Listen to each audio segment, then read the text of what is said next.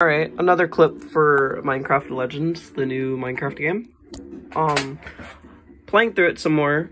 This, uh, these golem mechanics, and it's not even the golem mechanics, the entire, the entire pet system in general. Like, you can, if you see my last clip, you can see that, uh, they're, um, if, if you can recruit animals and shit.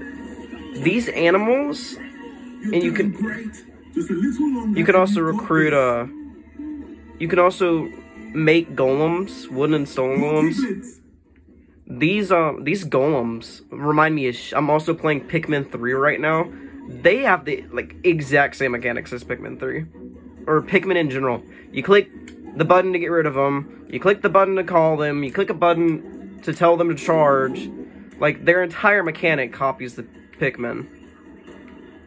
But, um, they're really fucking good. Like, they're, they're helpful. I made a wall around this base. I don't know, this gate ain't closing. It bugged out.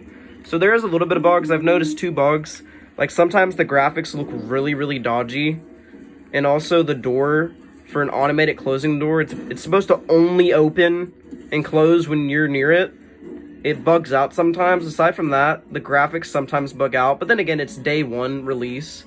Like, it's day one of this game. So it makes sense for something to happen like this. See, like that, you click X, you click a button and they attack. You click a button and they group towards you. Literally the exact same as Pikmin. The attack is over, but some You can- piglins remain. You can also click B to attack, A to jump, and that's about it. That's literally the entire game. You can build shit, like I built that wall. That wall was not there, I built that. You've done it! Those towers over there, in the distance, the arrow towers.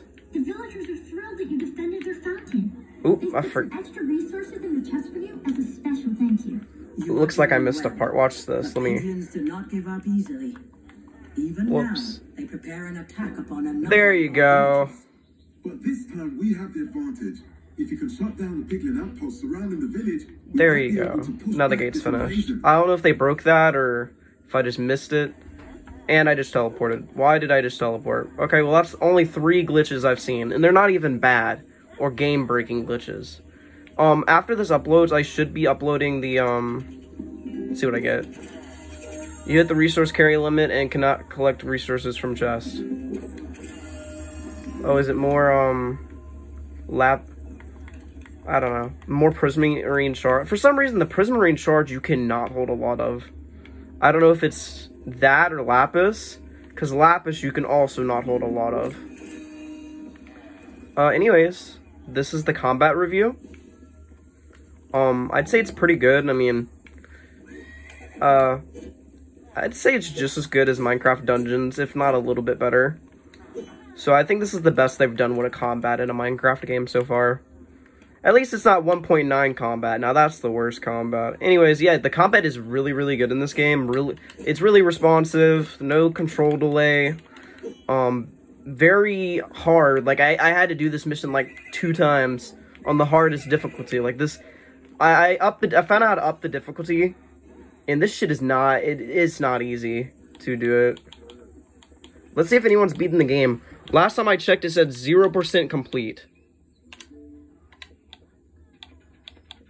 Yeah, now it's 0.01. What crackhead had beat the game? Before it said 0.00 of gamers unlock this. Some crackhead just beat the game recently. That is crazy.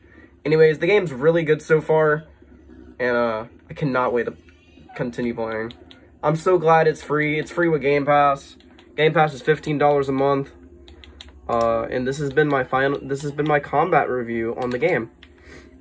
Uh, good luck, everyone.